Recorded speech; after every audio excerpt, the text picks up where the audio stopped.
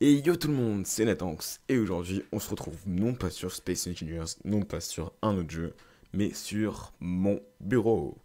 Donc voilà, donc euh, je sais que ça ne me paraît pas très intéressant, mais si vous êtes ici, c'est que vous avez sûrement dû voir le titre de la vidéo, qui consiste euh, à savoir comment changer sa skybox sur Space Engineers. Moi j'appelle ça un skin une skybox, d'autres appellent ça un background, enfin bref. Donc, euh, pour ceux qui seraient pas très anglophobes, pour ceux qui, oh qui seraient pas très anglophones, mais qui seraient plutôt anglophobes et qui n'auraient pas compris le, la mise à jour et ainsi que les vidéos de développeurs comment changer sa skybox, je vous propose ce petit tutoriel euh, français fait par moi. Donc tout d'abord, euh, pour télécharger vos skybox, vous allez sur ce site qui est conseillé par un développeur et qui sera bien entendu dans la description. Et pour télécharger votre skybox. Donc vous pouvez voir qu'il y en a des différentes. Euh, des plus utiles aux moins utiles, des plus belles aux moins belles, notamment euh, des quelques belles. Ça, par exemple, c'est moins beau, hein, on va pas se mentir. Bien sûr, selon vos univers, par exemple, ici, pour ceux qui jouent à Eve Online, pourquoi pas, ça pourrait être intéressant. Donc voilà, donc moi, pour ce tutoriel, j'en ai pris deux que je n'avais pas. Donc à savoir, euh, ça s'appelle tous Spaceman, hein. à savoir Some Gamma Clouds and Some Blue Clouds. donc j'ai pris ces deux-là pour faire le test. Donc vous pouvez télécharger au préalable parce que j'ai une connexion qui est quand même assez faible. Donc pour accéder à votre dossier de mods, il euh, faut savoir que euh, c'est considéré comme des mods et que maintenant ils ne sont plus supprimés automatiquement à chaque mise à jour. Donc voilà, donc on a été dans le AppData. Donc je rappelle pour ceux qui ne savent pas comment accéder à leur AppData, vous allez dans Windows et vous tapez %appdata Vous faites entrer, vous vous retrouvez dans le roaming, euh, qui est un dossier caché par défaut. Vous descendez en bas pour trouver Space Engineers. C'est ce qui nous intéresse. Vous allez dans Mods. Donc vous voyez qu'ici vous avez une série de chiffres, faut pas vous en occuper. Et vous allez juste créer un dossier qui s'appelle euh, Galerie de Skybox. Donc voilà. Donc j'ai mes galeries de Skybox, je vais pouvoir fermer cette page internet. Donc aucun enjeu, elle est ouverte. Pourrait nous être utile. Donc vous allez dedans. Donc on va créer la skybox 1, par exemple. Donc on va faire la 1. Et voilà. Donc dedans, ce que vous allez faire, c'est que vous allez ouvrir une, un des deux, donc au pif celle-là. Hop. Donc vous prenez le backgroundcube.dds et vous le copiez directement dans Skybox 1. Donc je vais faire pareil dans Skybox 2 avec l'autre dossier. Au moins ça sera fait Skybox 2. Donc dedans, j'ai copié, bien entendu, l'autre. Donc des fois, il peut y avoir d'autres fichiers qui sont donnés avec... Euh, quand vous ouvrez ce fichier, euh, vous en occupez pas. Ce qui est important pour nous, c'est le background cube.dds. Donc voilà. Donc je suis aussi m'excuser pour les bruits de la souris. C'est vrai que j'ai dû changer de souris. ma filaire est morte. Donc euh, du coup, pour l'instant, je suis sur une petite souris un peu nulle. Donc voilà, donc là on a deux, nos Skybox 1 et Skybox 2 avec deux fonds d'écran différents. Mais ça suffit pas. Euh, pour, pouvoir faire en sorte qu'il marche, il faudrait aller sur votre Steam, dans votre galerie de jeu, faire un clic droit sur Space Engineers, propriété, fichiers locaux et parcourir les fichiers locaux. Donc vous voyez qu'on tombe là-dedans. Donc en fait c'est dans votre Steam App, dans votre Steam Apps. Et donc là on va dans Content ou Content pour les Français.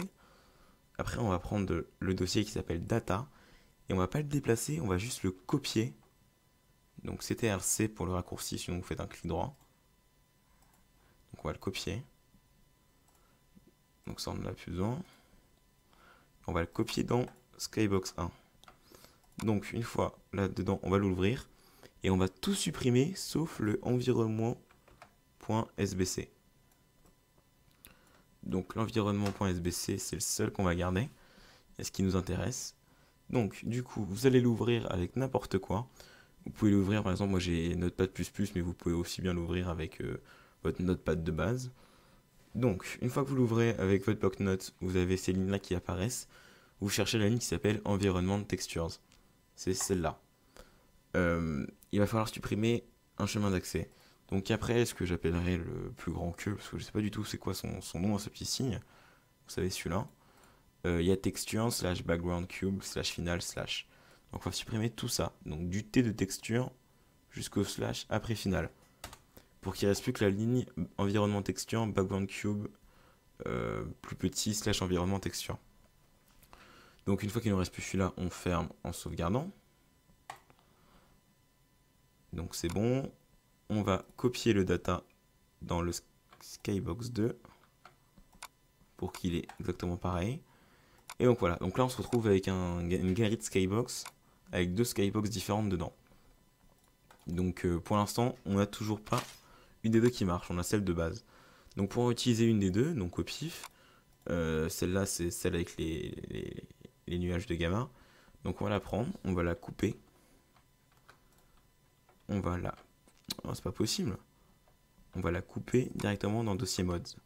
Donc là vous voyez qu'il est plus dans le Skybox, mais bien dans le dossier mods. Donc elle est utilisable et c'est ça serait qu'on aura. Donc si vous voyez à peu près, ça ressemble à ça de d'habitude. Il est un peu clair avec beaucoup d'astéroïdes en fond. Donc là, vous allez voir là que quand le jeu va se lancer, ce sera pas du tout pareil.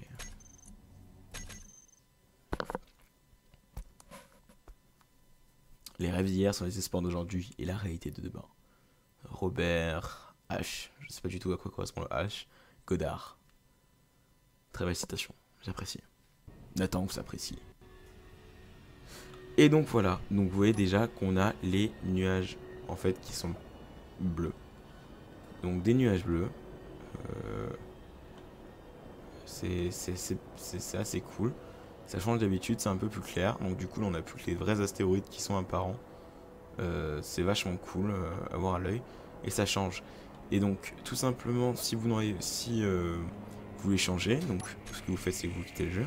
Donc moi, je vais faire Alt F4 pour la rapidité vous retournez à votre dossier, le Skybox 1, vous le changez, vous le replacez dans la galerie, vous prenez Skybox 2, pareil, hop, on quitte, on met là-dedans, on relance le jeu.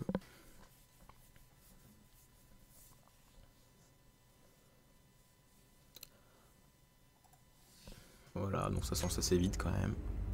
Avec un peu de chance, une nouvelle citation. Les lois scientifiques sont fortement soutenues par des preuves empiriques. Elles sont des connaissances scientifiques que des expériences sont maintes fois vérifiées et jamais contredite. Wikipédia 2077. Donc 2077, euh, des fois on me pose la question pourquoi 2077 Il me semble que c'est par rapport à une nouvelle révolution spatiale. Enfin bref. Donc voilà, donc là on a tout de suite un autre... Il est assez beau n'empêche. Euh, un autre univers, donc vous voyez c'est des nuages... Euh, ce qu'ils appellent Gamma Clouds. Ils sont vraiment beaux, hein. pour le coup je suis surpris, il n'y a pas un pixel ni rien moche. C'est assez clair, c'est joli. On arrive facilement à faire différence. C'est vraiment vraiment beau. Et donc là je vais essayer directement en live avec vous, voir si ça marche. Donc si vous voulez plus de, vos modes, vous allez dans Skybox 2, vous le replacez. Menu principal. Je ne crois pas qu'il y a besoin de quitter le jeu. On va quand même tester. Normalement on devrait plus avoir le, le background modifié.